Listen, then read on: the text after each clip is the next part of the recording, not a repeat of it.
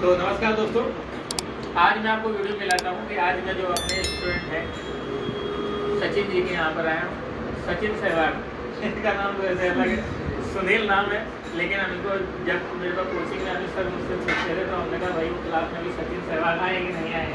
तो कह रहे, उनका नाम सहवाग नहीं तो कहा नहीं, कोई दिक्कत नहीं, सहवाग उनको भी रखा।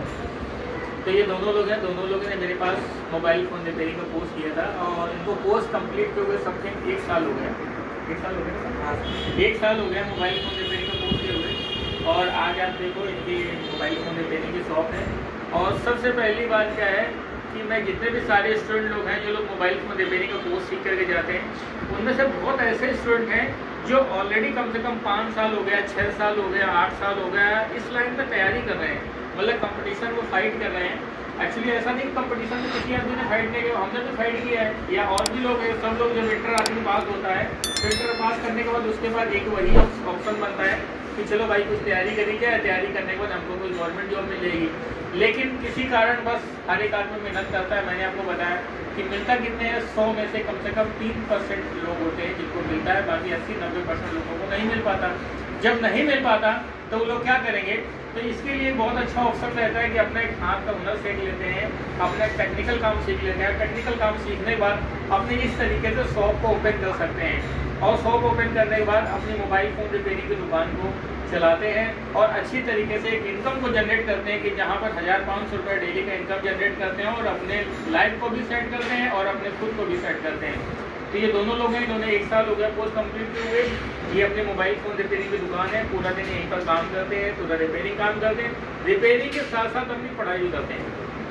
सबसे पहली प्लस पॉइंट ये है। कि तुम्हारे लिए बहुत ही बड़ी तारीफ़ है कि आप ये करने के साथ साथ अपने एजुकेशन भी पूरा कर रहे हो। क्योंकि आदमी को कभी भी पढ़ना नहीं छोड़ना चाहिए, ये तो बहुत अच्छी बात है। क्योंकि एजुकेशन शिक्षा एक ऐसी चीज़ है, जिस आदमी के हाथ में शिक्षा है तो वो कभी ज़िंदगी में किसी चीज़ में हताश हो सकता है, परेशान हो सकता है, लेकिन कभी ज़िंदगी में लाचार नहीं हो सकता। क्यों नहीं हो सकता? जैसे कि मजदूर आदमी नहीं होता, जब उसको काम नहीं मिलता तो वो बार बार काम ढूंढता मिलता है। लेकिन जिसके हाथ में शिक्षा होती है तो वो अपना दिमाग इतना चला सकता है कि भाई, अब हमको नहीं है तो हम दूसरा रास्ता क्या अपनाएँ? ये रास्ता नहीं है तो दूसरा रास्ता क्या अपनाएँ? मतलब आदमी की ज़िंदगी कभी ख़त्म नहीं होती। और आदमी हमारे जैसे पेरेंट्स हैं या अपने, हम अपने बच्चों को इसीलिए पढ़ाते हैं कि भैया ये बच्चा पढ़े स्कूल जाए स्कूल जाए। क्यों जाए? इसीलिए स्कूल जाए, क्योंकि अगर ये पढ़ जाएगा तो ये भविष्य में सफल होगा। इसका खुद के बुद्धि का विकास होगा। ये खुद अपना सोच सकता है कि करेगा क्या? भविष्य में लाइफ में क्या करेगा? क्योंकि लाइफ में काम करने के लिए, आदमी के लिए एजुकेशन बहुत ज़रूरी है। लेकिन सर, एक समय ऐसा होता है कि जब आदमी का एजुकेशन पूरा हो जाता है, पूरा होने के बाद भी अगर उसको काम नहीं मिलता तो वो वहाँ पर एक ऑप्शन बनता है कि आदमी भाई, आपने एसएससी की तैयारी करनी थी? आप एसएससी की तैयारी गए, आप छह महीने का कोर्स होता है, पूरा हो जाएगा। उसके तैयारी साल, दो साल, तीन साल, चार साल करते रहिए। आपने बी भी कर लिया टेट का भी पेपर दे रहे हो रिज़ल्ट भी हाथ में है, लेकिन उसके बाद भी जॉब नहीं मिल रही है। तो अपने हाथ में हुनर होता है तो हुनर होने का ये फ़ायदा रहता है कि आप हज़ार पाँच सौ रुपये का काम डेली का काम कर सकते हो और बिल्कुल इस तरीके से साफ़ सुथरे तरीके से।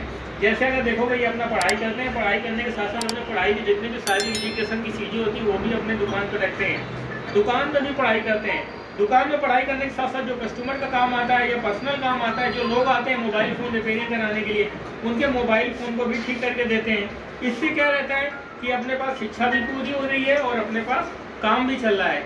और इन्होंने बस खाली ये सोचा कि मैं क्यों ना अपने लाइफ को सेट करने के लिए इन्होंने मात्र 45 दिन का कोर्स है। 45 दिन का कोर्स कानपुर में उन्होंने ज्वाइन किया मेरे पास। पूरा दिन हॉस्टल में रहते थे, आराम से। पूरा फुल डे ट्रेनिंग करते थे, आराम से वहीं से सोते थे, खाते पीते थे। पैंतालीस दिन उन्होंने समय दिया, पैंतालीस दिन में उन्होंने पूरा कंप्लीट कोर्स कर लिया। तो सचिन जी, जरा आप अपने दोनों लोग अपना एक्सपीरियंस बताइए, ताकि मैं आपके, देखो, दुकान पे मेरा आने का सबसे पहली बार मतलब क्या रहता है? हम ये चाहते हैं कि हमारे पास जो बच्चे सीख रहे हैं, वो सीखने के बाद किस तरीके से सफल हो रहे हैं कैसे मार्केट में काम कर रहे हैं, हम इतने सारे बच्चों को जो ट्रेनिंग दे रहे हैं ट्रेनिंग देने के बाद कोई मेरा ऐसा औचित्य ये नहीं रहता कि मेरे स्कूल में, मेरी कोचिंग में कोई भी बच्चा दाखिला ले और हमको फ़ीस दे और फ़ीस देने के बाद सीखने के बाद जाए, फिर मैं दूसरे बच्चों को सिखाऊँ। नहीं, मैं दूसरे बच्चों को सिखाऊँगा सिखाऊँगा, वो मेरा काम है। लेकिन जो मेरा बच्चा पहले सीख करके गया है, उसको क्या सपोर्ट मिल रहा है? वो भविष्य में आगे कुछ काम कर पा रहा है कि नहीं कर पा रहा है? क्योंकि अगर जब कहते नहीं, जब तक किसी का भूत नहीं अच्छा होगा तो उसका भविष्य कभी अच्छा नहीं हो सकता है ना। तो इसीलिए क्या है, अगर मेरा पीछे का एरिया अच्छा नहीं होगा, मेरे बच्चे जो सीख करके जा रहे हैं, अगर वो नहीं सफल होंगे तो मैं आगे किसी भी बच्चों को सिखाऊँगा तो वो सफल नहीं हो सकता।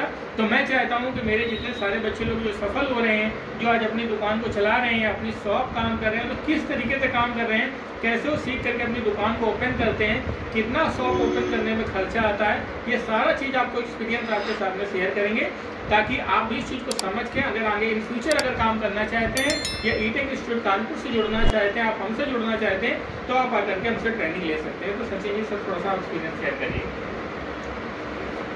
मैं मैं सचिन सचिन मैं से उरई से बिलोंग करता हूँ। मैं मतलब मेरा मुझे पूरा एक साल हो गया कम से कम ये कोर्स करते किए हुए। जब से मैं दुकान अपना मतलब शॉप खोल के रखा हूँ और मेरे पास जो अभी मैंने लमसम यही ये अब वो तो अपने ऊपर है जितना रुपये होगा उस उसी हिसाब से मतलब अपना दुकान का जितना मतलब वो भर सकता है वो भर दिया। और मैं जब से मतलब काम सीख के जाता था उसी दिन से मैं अपनी यहाँ दुकान खोली हुई। तभी से चला रहा हूँ बढ़िया दुकान चल रही है हज़ार से पंद्रह सौ रुपये डेली का मतलब अभी कमा रहा हूँ सर और वो वो तो दुकानदारी जैसे मतलब एक्सपीरियंस बढ़ता जाएगा वैसे ही काम बढ़ जाएगी आज सर अपना पेपर भी लेकर के आए हैं हाँ आज मेरा पेट का पेपर था सर आगरा में मैं पेट का पेपर दे के आया हूँ अभी और उसके साथ साथ मैं पढ़ाई भी कर रहा हूँ इस समय ये की के तो देखिए सर, दोनों बच्चे लोग तैयारी करते हैं और तैयारी करने के साथ साथ क्या मैं कहना चाहता हूँ कि इनका घर यहाँ से आठ दस किलोमीटर दूर पड़ता है। तो ये दोनों लोग घर नहीं जाते। सबसे बड़ी बात क्या है? जो इन्होंने जो बात बताई आपने कि सर मैं घर नहीं जाता तो बहुत अच्छी बात है क्योंकि आदमी को सफल होने के लिए अपने घर को त्यागना पड़ता है। जिस आदमी ने अपने घर को नहीं त्यागा तो वो समझ लीजिए दुनिया का सबसे मक्कार आदमी है जो घर में घुसा हुआ है। क्योंकि आदमी को अगर 18 से 20 साल के बाद अगर उस पर्सन ने घर को नहीं त्यागा तो सिर्फ़ घर में बैठेगा खाएगा पिएगा अपने समय को वेस्ट करेगा लेकिन आदमी को लाइफ नहीं सेट कर सकता क्यों क्योंकि भाई देखो आप ज़िंदगी में तभी खाना खा सकते हो दो रोटी चैन के तभी खा सकते हो जब आप बाहर जाओगे क्योंकि बाहर जाओगे तो आटा लेकर के आओगे तब घर में खाना बनेगा तब खाओगे। या तो फिर कोई अम्बानी टाइप का आदमी हो जो हाँ। घर में पैदा हो जाए आराम से चौड़े से पड़ा रहे मोटा होता रहे खाता पीता रहे है ना? हाँ। तो इसीलिए क्या है मिडिल क्लास का फैमिली का आदमी यही है कि उसको बाहर निकलना पड़ेगा। अठारह से बीस साल के आदमी को बाहर निकलना बहुत ज़रूरी है।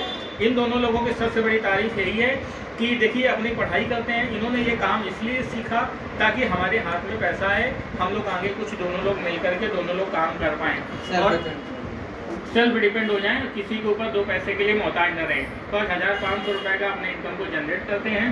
दूसरी बात अपनी पढ़ाई भी करते हैं। यहाँ से आठ दस किलोमीटर घर है, घर नहीं जाते।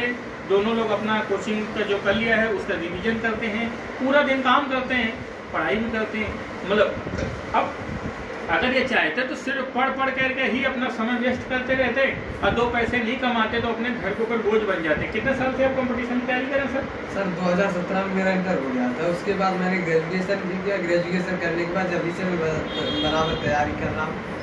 तो सर को 2017 से आज तेईस से तो मतलब छः साल हो गया। छः साल तैयारी करते करते हो गया।